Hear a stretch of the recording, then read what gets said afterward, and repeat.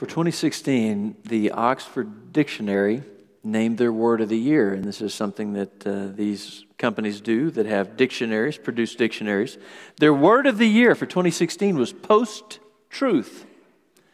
Here's how it's defined.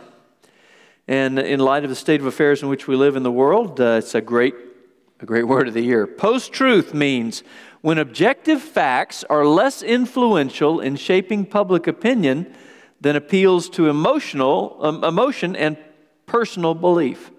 Objective facts less influential in shaping public opinion than appeals to emotion and personal belief. Don't confuse me with the facts. Have any of you heard the phrase fake news? Yeah. Yeah. Fake news is the boldest sign of a post truth society where truth is whatever you want it to be. Truth is however you want to define it. And when we can't agree, think about it, we can't agree on basic facts what's right, what's wrong, what's true, what's not. It's really hard to have relationships and it's hard to function together as a society. Now, is there such a thing as truth? There's a Greek, philo- Greek scholar in the 5th century BC named Sophocles. And he said this What people believe prevails over truth. Yeah, we have plenty of that going just now. Whatever people say, well, this is what I believe. Don't confuse me with the facts. This is what I believe. Marcus Aurelius lived in the second century, and this is what Marcus Aurelius recorded. Everything we hear is an opinion, not a fact. Everything we see is a perspective, not a truth. It hasn't really changed that much over the years.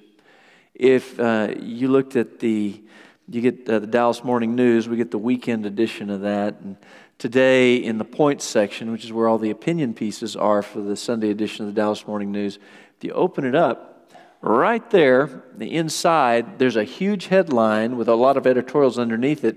And the headline is, what is the truth? People are struggling to know what is true and what's not true. Can I trust what I see on the news? Can I trust what I hear from public figures? What is true? Now, shift gears. In a recent study, this is late, uh, I think October 2016, 51% of Americans said the Bible was written for each person to interpret as he or she chooses. Now, in a post truth world, uh, that works great, but it doesn't fit in very well with what the Bible says. And here's, here's one of the things the Bible says all scripture is breathed out by God and profitable for teaching, for reproof, for correction, for training in righteousness, that the man of God may be complete, equipped for every good work. See, if the Bible was written to be interpreted as each person wants, then the Bible is not helpful for teaching, for rebuking, for correcting, or for training in righteousness. But when the standard of God's Word is set, and it is, the Bible has great, great value. Now, here's the, here's the other side of that. This is valuable for gathering dust. This can transform your life. And it's important that you read this book. Now, I recognize that, back to our video earlier, I recognize that a lot of people say the, the biggest reason for not reading the Bible isn't, we say is we don't have time, but ultimately, it's we don't have an interest in the Bible getting into our business that big. And it's, it's sin that keeps us from doing anything that God wants us to do. We got we got to start calling things what it really is. You have to open this book and you really need to read it. When the Bible speaks, God's word speaks. And some, if, if you don't think you have time, I can fix that quickly. Give me five minutes with your calendar from any given day of any given week, and I can find you plenty of time to read the Bible. The challenge is do we want the Bible getting in our business? Are we afraid the Bible, God's going to ask us to do something we don't want to do, change something we don't want to change, uh, move in some way we don't really want to move? That's usually what keeps us from God's Word. But listen, you can trust God. His Word is true, and He is for you, and He loves you. Let's read the Bible. Now, when it comes to uh, fake news and truth and post truth, one of the amazing things to me is that many of the same people that I see making statements about there's no such thing as absolute truth, there's no such thing as objective moral facts, are the same people who are throwing the biggest fit about fake news. You can't have that both ways. Things are either true or they're not true. Things are trustworthy or they're not trustworthy. You can't say truth is whatever you want it to be. Oh, unless unless it comes to spiritual things. And then it's never true. It's a weird world. Welcome to the weird world in which we live. I wish I could tell you it was going to be all different tomorrow, but it's not. It's going to be a whole new adventure again tomorrow in a post truth, fake news world.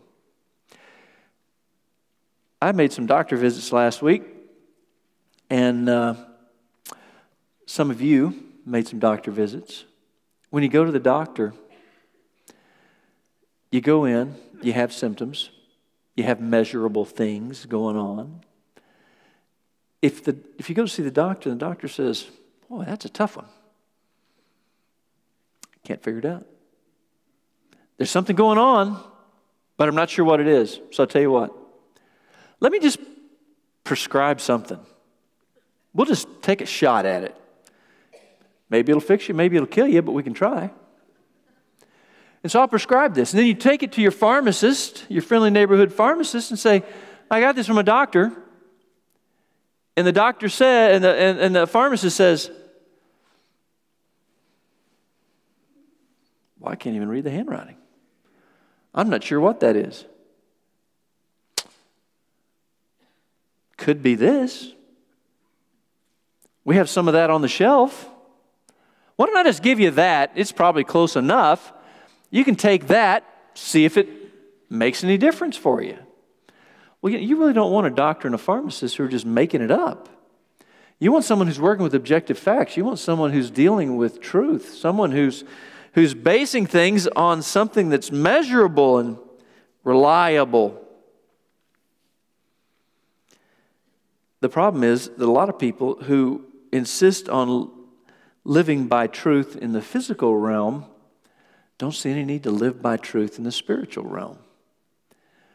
That there are things that are true and always true, things that are measurable, things that you can rely on. Instead, God and religion get assigned to the realm of that's just your opinion, instead of based on a foundation of truth. And this is where it, uh, it gets a little complicated. When someone says truth is relative, just whatever works for you. What they're really focusing on, it normally means they don't believe there's absolute truth. There are things that are true everywhere, all the time, forever. There are things that are true. And you can count on those things. That's what they want to challenge. And so they say, well, some things, that appears true to you, but it doesn't seem true to me. And if you don't believe it, that's fine. Uh, if you do believe it, just don't get in my business with it. When people say things like, that's fine that God exists for you, but he doesn't exist for me, they're expressing a popular belief. Truth is relative. Now, the whole concept of relative truth, at first glance, that sounds, oh, that's very open minded and tolerant to say true for you, tr- not true for me. But fact is, it's really judgmental because they're saying, well, it's not true for me, and uh, if you want to live in the realm of make believe and foolishness, then it's okay for you to believe it is true. And it's quite judgmental. No, by the way, no one really believes truth is relative in this discussion. Nobody does. No one says, hey, gravity, it's true for you, but it's not true for me. And, I, and I'm going to demonstrate that. I'm going to jump off the tallest building in town with no harm or effect on my life. Because truth is relative. People don't really believe truth is relative. They know there are things that are true and there are things that are not true. That truth is relative statement is also a self refuting statement. Saying truth is relative, you're stating a claim truth. And if all truth is relative, uh, that statement is also relative. So uh, you can't trust it to be true all the time. That's a fun little philosophical circle we just ran. Now, there are statements that are relative. There are things that are opinions in the world. If someone says, the Ford Mustang is the coolest car ever made, well, that's a relative statement. A car enthusiast may say, that's true. By the way, we had some serious Ford Mustang people in the first hour. They, they erupted over that particular issue, and others were horribly offended. Uh, tough crowd at 9 o'clock today. But a, a car enthusiast may think, well, yeah, but there's not, there's not an absolute standard by which to measure coolness. Uh, except I, I use our band as my measure of coolness, which explains a lot about my life. But here's, here's a statement. Some things are belief and opinion, but if I say, there's a red Ford Mustang parked outside in the driveway and it belongs to me, that's not relative. It's either true or it's not. It's either false or it's fact. There's an objective reality. Now, generally speaking, opinions are relative, and a lot of people assign any question about God or religion to the realm of opinion. You prefer Jesus. That works fine for you. Wonderful. But what Christians say and what the Bible teaches is that truth is not relative, regardless of the subject matter. There is an objective spiritual reality just as there is an objective physical reality. God is unchanging.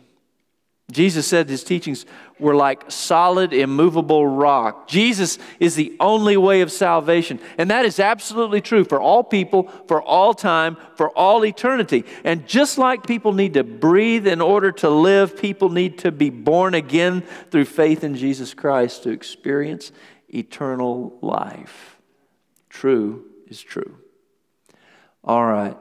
Now we're going to look at an example from the Bible of this challenge to what God says. And it's in Genesis chapter 3. My goal today, as we're talking about the Bible and reading the Bible, is to make it as accessible as possible for you. And it doesn't get more accessible than starting with the first book in the Bible and the third chapter. You're going to have to look a little bit, but you're only going to have to look a couple of chapters to get to chapter 3. Genesis chapter 3. This is the story of sin coming into the world, the story of the fall. And uh, I want to read I want to read all seven verses and then I want to circle back and we're going to take them apart one at a time. Here is uh, verse 1 of Genesis chapter 3. Now, well, rough when a sentence starts now. Now, the serpent was more crafty than any other beast of the field that the Lord God had made. He said to the woman, did God actually say, You shall not eat of any tree in the garden?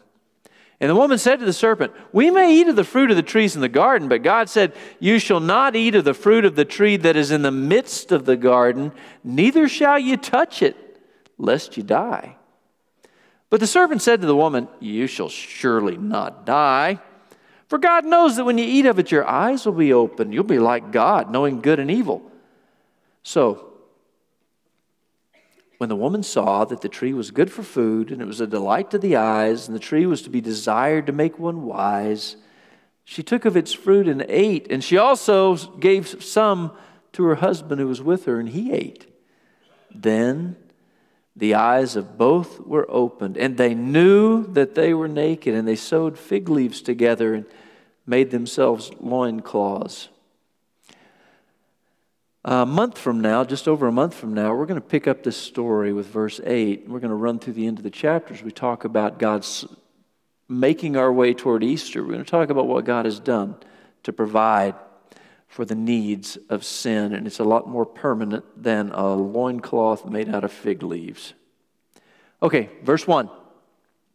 Eve got into a lot of trouble when she entered into a dangerous conversation with Satan. Satan, the Bible says, is not. Uh, a fairy tale figure, but is a real person, personality, a force in the world, and is alive and well on planet Earth.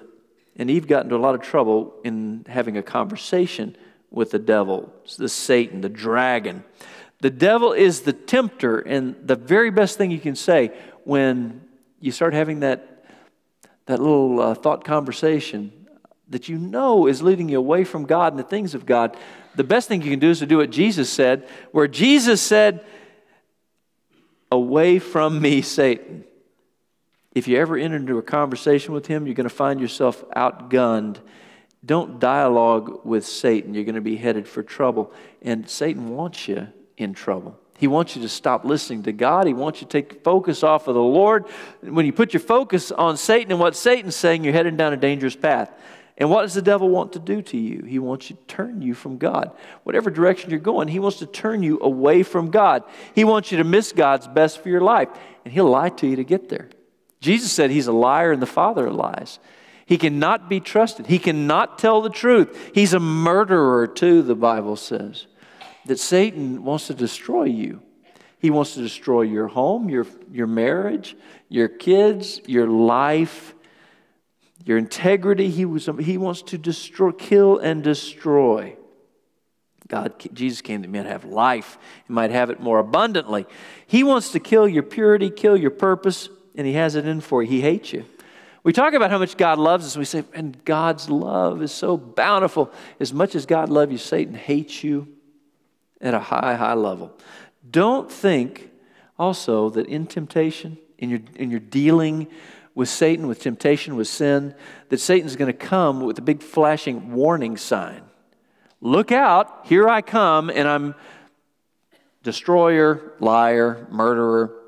He doesn't come with all those warnings. He comes, he comes as a beautiful creature, not wearing red underwear with pointed horns and a pointed tail and a pitchfork. He doesn't come like uh, the Hollywood animated uh, demon character from uh, the movies. He, he's not an ugly creature. He comes as a beautiful creature to Eve. The Bible says Satan disguises himself as, as an angel of light. Now, when the devil comes, when Satan comes whispering in your ear, he also doesn't say, Would you like to ruin everything? Would you like to come crashing down today? No, he comes in his appeal. He's a wonderful salesman. It sounds beautiful and it sounds appealing, uh, attractive. The Bible describes Satan as this way your enemy, the devil, he prowls around like a roaring lion looking for someone to devour. Now, notice the tactic that Satan uses, devil uses on Eve, because it's the same tactic he's going to use on you. It's the end of uh, verse 1. These are the first recorded words, by the way, we have of Satan in the Bible. Did God really say you must not eat from any tree in the garden? You just try it. This is a key to how Satan operates. When God says something, God puts a period at the end of that sentence. Here's how Satan does it Satan takes the same, the same thing, he puts a question mark at the end of the sentence. God says, You shall not. Period. Satan comes in and says, You shall not? Are you sure? Is that really what God intended? Is that really what God means? Is that really what God wants to do? Did God really say that? Satan doesn't have to get you in some terrible environment to get you to sin. You can be in wonderful spiritual environments, and all he has to do is to get you to question the authoritative Word of God. And where God has put a period at the end of a sentence, Satan just needs to come in with a question mark. He's questioning here, he, he wants Eve to question the authority of God. He, he, wants, he wants her to question the accuracy of the Word of God. He wants her to question the application of what God has said. And if he can get those questions rolling, he can dismantle everything God's Word has clearly declared. Uh, there, there are lots of people today, and there, there are spiritual people today, spiritual environments at some level of spiritual, where people really don't believe this book is the Word of God. They, they take it like they would take the writings of Shakespeare. It's, it's helpful, it's interesting, there are things that you can learn, but it's not authoritative. It's historically interesting, religiously interesting, but, but not the Word of God. When the Bible speaks, and this is how we will continue to approach it here, because this is. This is what the Bible is the Word of God. And when the Bible speaks, God speaks. When God speaks, it's the, through the Bible. When the devil comes along putting a question mark at what the Bible says, doing the same thing he did to Eve Eve, there's a lot more to life. God's a cosmic killjoy. He really doesn't want you to experience all the fun that's out there for you. He wants to hold you back, keep you down. He's jealous of you. And those are the same things he'll tell you. Yeah, the Bible is just so constricting. It's going to keep you from a lot of fun in life, keep you from fitting in with the rest of the world. Satan didn't tell Eve, Satan did not tell Eve, she could, you, Eve, you can't have a relationship with God. What Satan said was, Eve, you can define the relationship. You make it up. You just say, well, God said this is what the relationship looks like, but really, Eve, you, you're smart, you're an intelligent girl. You ought to be able to decide this is what it's supposed to look like. This is what God's going to like without consequence. Don't worry about consequences. God is going to be all good with anything. The Bible says of Satan, we're not ignorant of his schemes. And Satan does the same things today. Last, last Sunday, Jimmy Smith in our, in our Lies series talked about, about sexual ethics issues.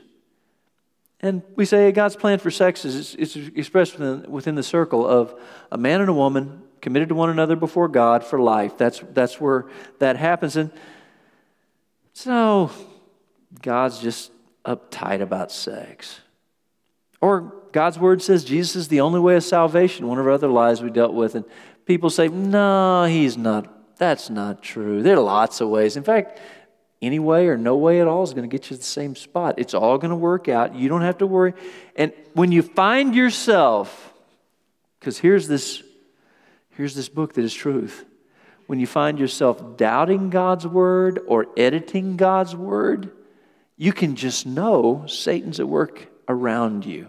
He's whispering in your ear, and you need to flee. You need to go the other way because it will lead you down a path that is destructive. Verses 2 and 3. I want you to notice just how Eve responded. And what, what happens is God has spoken a clear word. And I don't know if God spoke it to Adam and it got scrambled in the uh, passing it on to Eve or what all has happened here, but notice how Eve responds. And it is this the precision of God's word is compromised instead of being clear and sure and an accurate rendering of what God said, it's, it's been twisted up just a bit. She made three key changes. The Lord said, You may freely eat.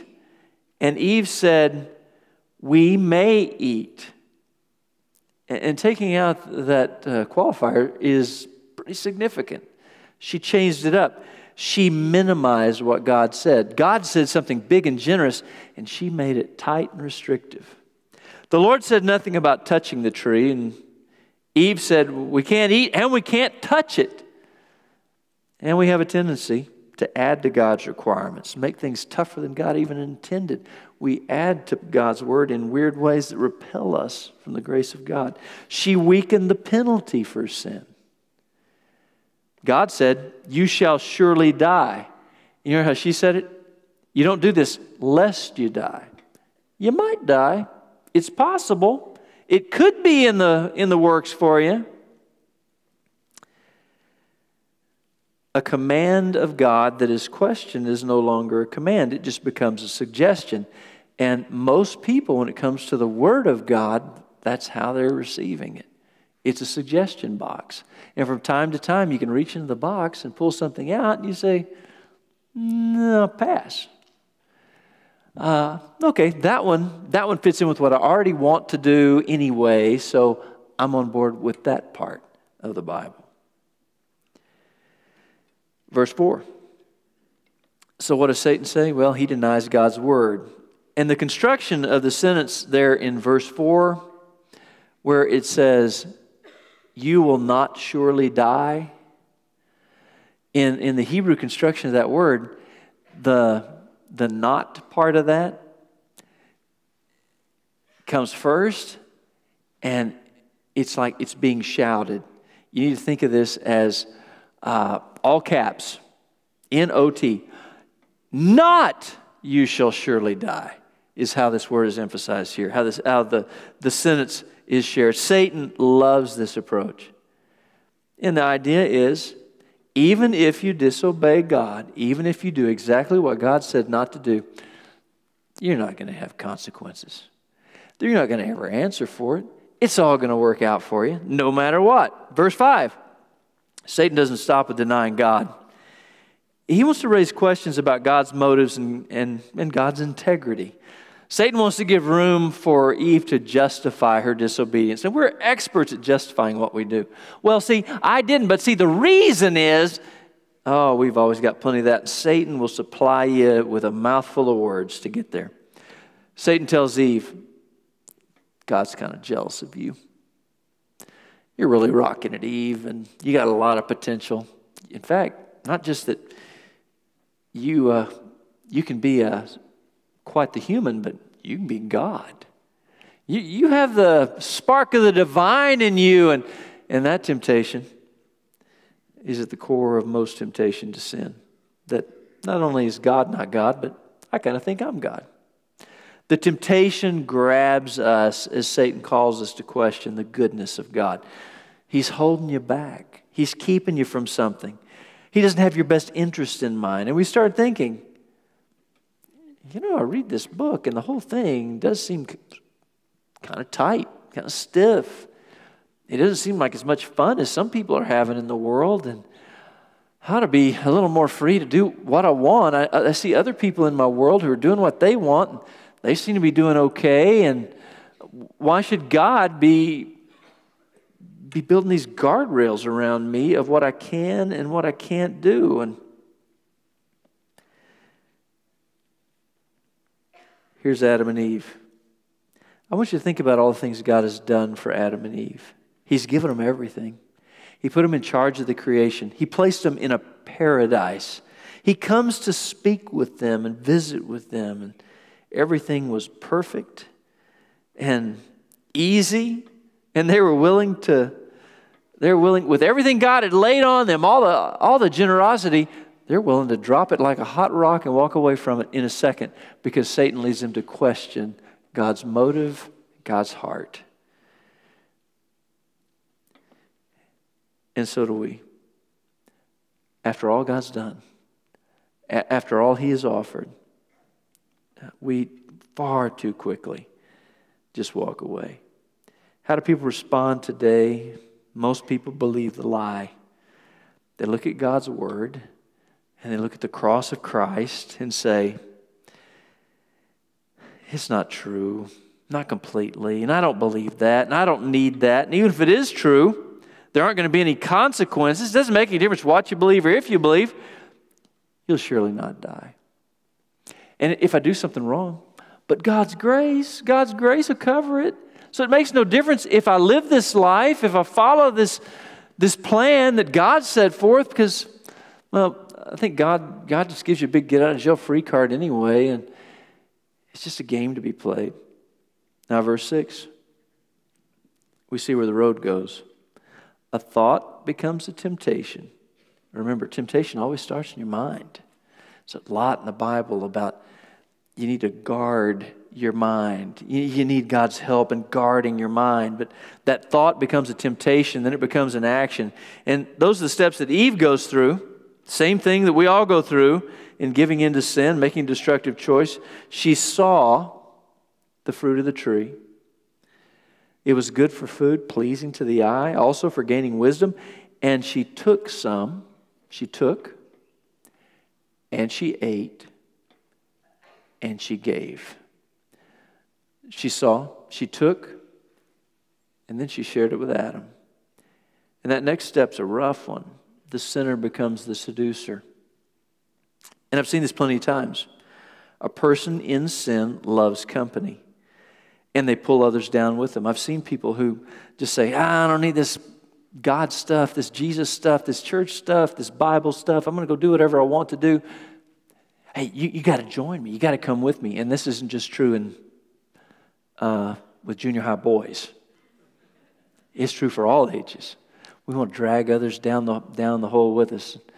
You know, my favorite images of this is, so vivid is uh, catching crabs and, down the Gulf Coast, and you can put them in a shallow bucket. They climb out of the bucket. A big crab climb out of a shallow bucket. But the good news is, as long as you got two of them, he'll never get out. Because the other ones will always pull them back down. It's the weirdest phenomenon. And we're much the same. We're always wanting to pull people down with us into the same hole, into the same troubles, into the same sin. I think about the story of shifting gears. Now we're heading to New Testament. Think about the story of Jesus. And Jesus is on trial before Pilate, although in all kinds of ways, Pilate's on trial before Jesus. And Pontius Pilate asked the question that earned him his place in history. When Jesus said, Everyone who is of the truth listens to my voice, Pilate said to him, What is truth? Now, we have no idea for sure what he meant with the question. I mean, we just have the words, What is truth? Uh, maybe it was just a wistful desire that I wish I knew what was true and what wasn't. Maybe it's philosophical. Maybe it was a little cynicism, a mocking joke, just ignorance. Maybe it was just aggravated, indifferent irritated. Maybe it was something that deep within him was just a gnawing pain of emptiness in his own soul. But this much we know. The moment that Pilate said, What is truth? he had never been, nor would he ever be closer to truth because the truth was standing right in front of him. Because Jesus is the truth.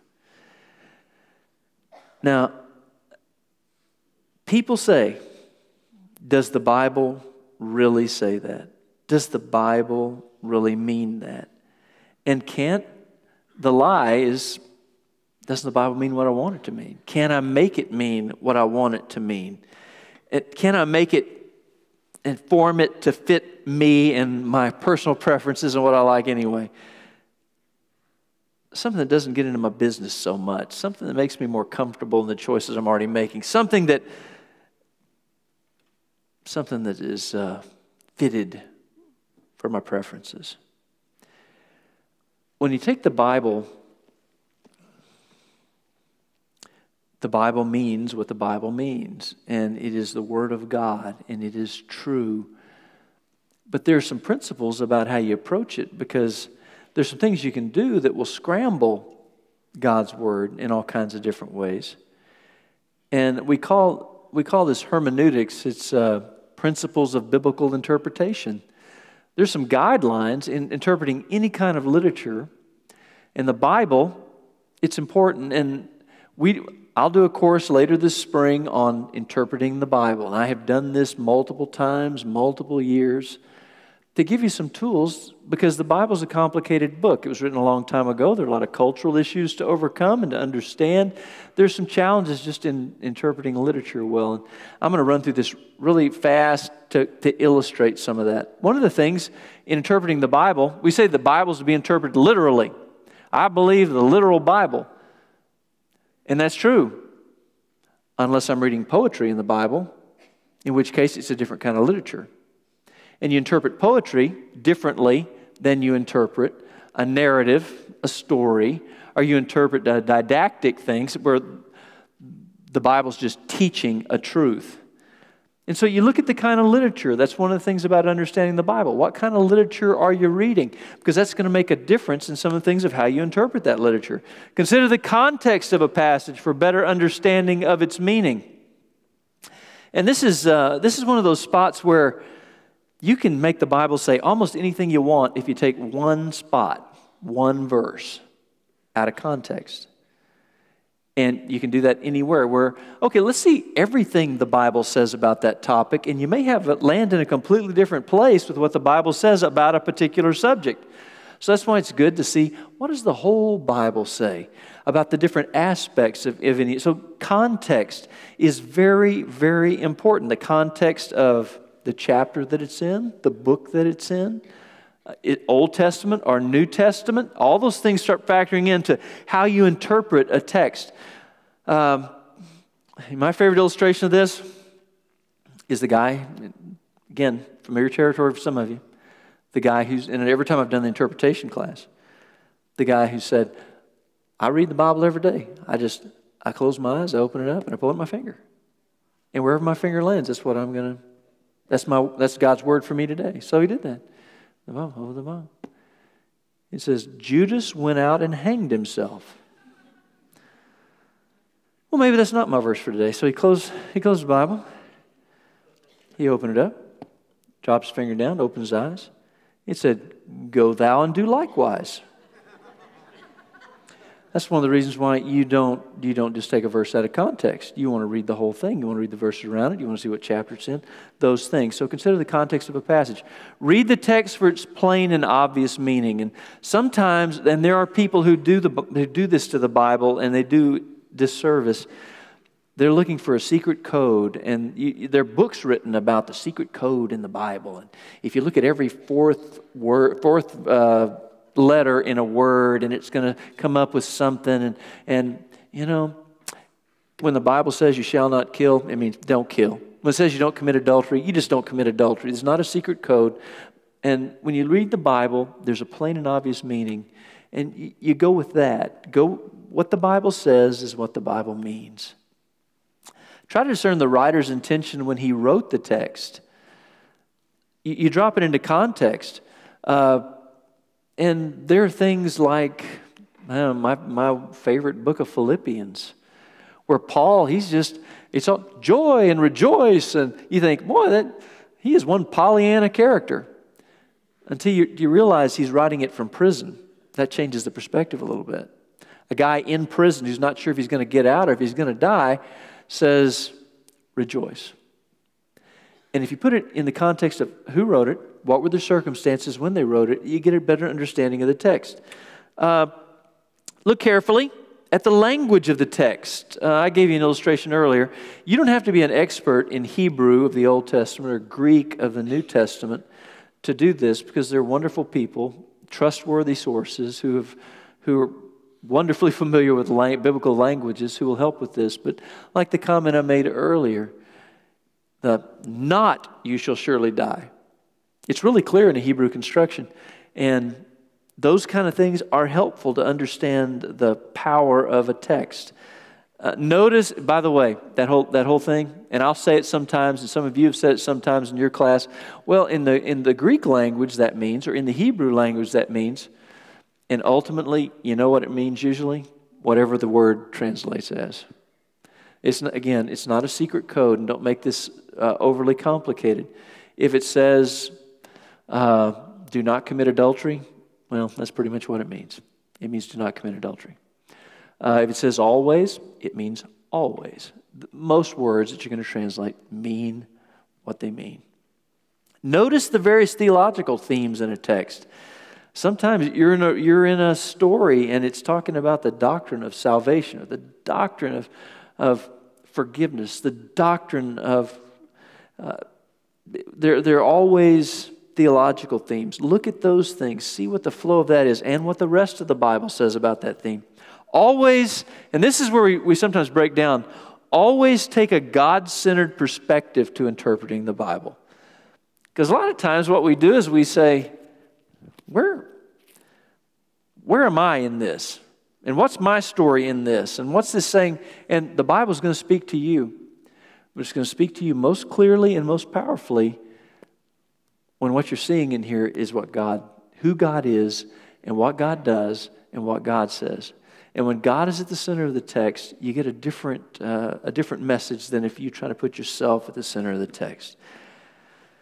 There's a lot we can say about these topics, but I want to I want to land it here. The Bible has been around for a long time, and its message does not change with the times. It doesn't change with the culture. It doesn't change with the winds of popular opinion.